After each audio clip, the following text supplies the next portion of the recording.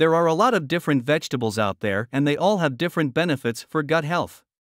Some vegetables are better for gut health than others. Here are some of the best vegetable combinations for gut health 1. Broccoli and carrots. These two vegetables are high in fiber and antioxidants, which are both great for gut health. They also have anti inflammatory properties, which can help to reduce inflammation in the gut. 2. Cauliflower and Brussels sprouts. These two veggies are also high in fiber and antioxidants. They also contain compounds that can help to protect the lining of the gut from damage. 3. Sweet potatoes and squash. These two vegetables are rich in vitamins and minerals, which can help to support a healthy gut microbiome. They're also low in starch, which makes them easier to digest.